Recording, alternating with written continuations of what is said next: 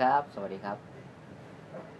ผมวิสาแมนนะครับ วันนี้มีผมมีทิปอ่า insert plug in สำหรับ mic Midas M32 มาฝากนะครับ มันจะง่ายสำหรับการทำงานสำหรับใครที่มีอ่า mixer Midas M32 อยู่นะครับ แล้วก็มีโปรโปรแกรมที่เป็น Wave Multilab Native อยู่นะครับ insert plug in ยังไง เดี๋ยววันนี้ วันนี้ผมจะมาบอกนะครับ วิธีการง่ายๆ ที่จะให้ท่านท่านทำงานได้ง่ายขึ้นนะครับโอเคครับโอเคครับนะตอนนี้ตอนนี้ระบบเราเนี่ยก็จะมิกอยู่ข้างหลังนะมันค่อนข้างที่จะทำงานยากนะครับเป็นงานกึ่งอีเวนต์นะครับ ทีนี้ไอตัวช anel ไมค์อะจะทำงานง่ายต้อง insert plug in นะครับ ไม่ต้องมาไล่นั่งปรับตลอดเนี่ยผมก็จะมีมอนิเตอร์ส่วนตัวไว้ recheck ว่าว่าโทน PA มัน มันทำงานยังไงนะครับ โอเค มันเริ่มเริ่มที่การใครที่มีมี mix M32 ก็ลงอ่าลง driver ให้เรียบร้อย แล้วก็เสียบสาย USB นะ เดี๋ยวพาไปดูข้างหลังเห็นไหมมันก็จะมี card card USB เห็นไหมครับ เสียบเลยนะครับเสียบเข้าคอมพิวเตอร์แล้วก็ลง driver ให้เรียบร้อยนะครับ ลง driver ให้เรียบร้อย ลง driver เรียบให้เรียบร้อย แล้วก็มา patch patch ก็ไปที่ routing เราจะ patch insert นะครับ ไปที่ routing เลือก card card นี่คือ สมมติว่านี่เป็น outboard สมมติว่านี่เป็น outboard card out ก็คือ card out ก็คือ ส่งจาก channel ไหนไปไปที่ outboard ก็คือเป็น send เอาง่ายๆเป็น send มี ก็คือสมมุติเรา insert analog ปกติ มีเซนกับ return ใช่ไหมครับเซนเนี่ยตอนนี้ไมค์ผมเสียบเป็น local ก็คือที่ที่ตัว mix เนี่ยเป็น localถ้าที่ stage box ก็คือเป็น AES นะครับ ตอนนี้ไมค์ผมใช้อยู่ channel หนึ่งถึงแปดนอกนั้นก็จะเป็นเครื่องดนตรีหนึ่งถึงแปดผมก็จะปรับ card out เป็น card out เป็น local หนึ่งถึงแปดไมค์นะครับ นอกนั้นก็เป็น stage box stage box stage box นะครับ แล้วก็ เลื่อน เลื่อนมาที่หน้า หน้าโฮมเห็นไหมครับ หน้าโฮมก็จะมี opt in opt in ก็คือ return เอาง่ายๆก็คือ return กลับ return กลับเนี่ย ผมต้อง return จากไหน อันเนี้ยมันเป็น outboard ถ้าเป็น analog analog ปกติก็คือเสียบ out ออกมา มา in นี่ ทีเนี้ยมันเป็น USB อยู่ ผมก็ต้องเลือกเป็นการ์ดนะครับการ์ดหนึ่งถึงสี่นะฮะมันมีหนึ่งถึงหกตอนเนี้ย แต่ว่าไอ้ห้าหกผมใช้เป็นเป็น sub mix อยู่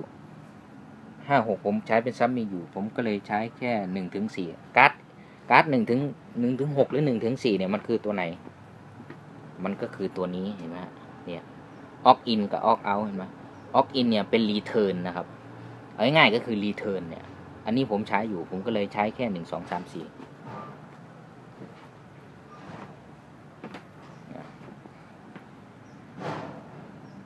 แล้วก็แค่นี้แล้วก็เสร็จแล้วก็ไปที่ช anel ที่ต้องการ insert อ่าสมมติว่า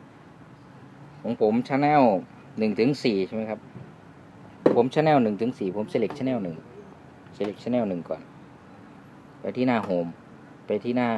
config นะฮะ insert เห็นไหมฮะ insert แล้วจะ insert อะไรแล้วก็หมุน channel หนึ่งผมก็ใช้กับ ox หนึ่งนะฮะกด connect ปุ๊บแต่เป็นปีรีโพสปีรีโพสก็คือก่อนก่อน processing หรือหลัง processing เห็นไหมครับอยู่หลัง processing แล้ว หรือก่อนสม แต่ว่าส่วนมากผมจะเอาไว้ก่อนเพราะผมถนัดแบบอนาล็อกทำอนาล็อกมาก่อนนะครับ ก็เลยเอาไว้ก่อน เอาไว้ก่อนแล้วค่อยผ่าน processing ของ mic insert ก่อน insert ox หนึ่งทีนี้ ถ้า channel channel สองไม่ล่ะ ก็ ox สองเห็นไหมสามก็ aux สามสี่ก็ aux สี่เห็นไหม source มันก็จะเป็น local insert aux return ไหน send เรา send ไปแล้วในในในใน routing นะครับ ใน card out นะเรา send ในนี้ send send ไปที่ outboard เรา สมมติว่าเป็นเป็น insert นอกที่เป็น outboard จริง ๆ ก็ทำแบบนี้นะครับทำแบบนี้ แต่ว่ามันมันจะไล่ชแนลลำบาก ถ้าคนไม่คล่องนะครับ โอเค ทีนี้มาตั้งค่าที่อ่าคอมพิวเตอร์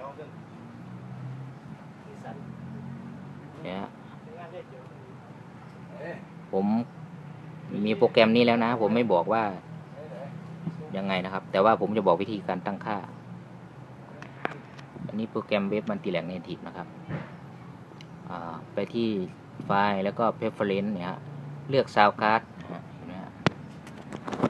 ผมลง driver เสร็จแล้วนะนะ ผมก็เลือก sound card เป็น DN 3 2เห็นไหมครับ ไปที่ Control Panel แล้วก็ผมก็ปรับเป็นอ่า buffer setting ก็คือโหมดโหมดการทำงาน audio streaming ก็คือใช้ทั้ง in และ out เราต้องใช้โหมด low latency แล้วก็ปรับ buffer ต่ำๆนะครับ buffer คือคืออะไรคือค่าแรมของ sound card นะครับ ค่าแรมของ sound card มีผลต่อค่าความหน่วงก็คือ latency นะครับ และมีผลต่อ CPU คอมพิวเตอร์นะครับ ถ้าเราปรับต่ำเกินไปมันจะกิน CPU เครื่องคอมนะครับ ปรับสูงเกินไปมันก็จะหน่วงอันนั้นต้องปรับให้พอดีนะครับ ทีนี้ผมย้ำว่าคอมที่ใช้ต้องแรงจริงนะครับ การงานรันงานไลฟ์ซาวเนี่ยถ้าไม่แรงทำไม่ได้นะครับ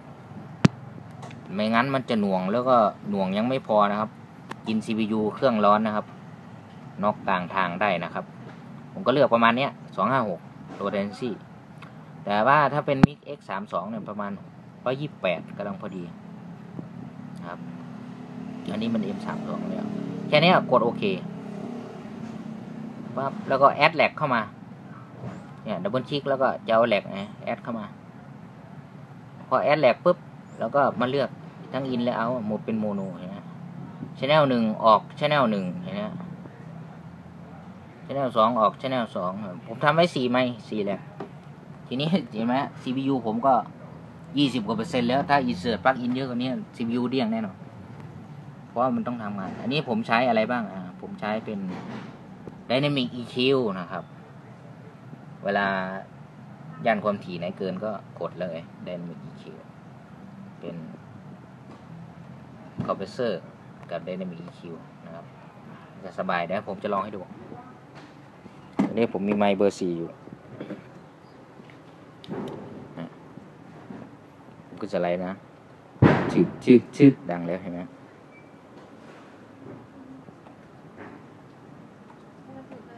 ชึกชึกชึกเห็นไหมอะไร เดี๋ยวทำคลิปลง YouTube ก่อนเดี๋ยวตอนผมพูดดังมันจะกดเห็นไหมชื่อเดี๋ยวไม่เบอร์สี่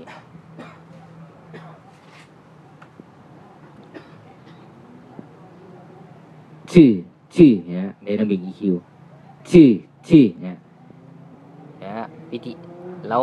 ที่จริงถ้าถ้าเป็นงานลักษณะอีเวนต์แบบเนี้ย ก็คือคนพูดมัน ใช้ไมค์ไปเรื่อยนะครับ เราใช้ Dynamic EQ ทำงานดีกว่านะครับนะนี่ก็เป็นทิปการอ่า insert plugin อย่างผม แทนที่เราจะมา